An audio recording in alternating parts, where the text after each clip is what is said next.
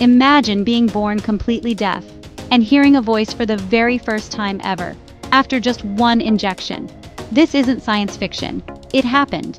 In July 2025, scientists at Karolinska Institute treated 10 people with genetic deafness, caused by mutations in the OTOF gene, one injection into the inner ear, and weeks later, they began to hear.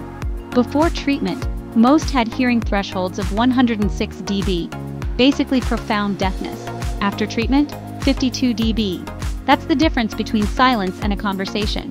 The therapy used a harmless AAV virus to deliver a healthy copy of the OTOF gene. That gene builds otoferlin, a key protein for transmitting sound from hair cells to the brain.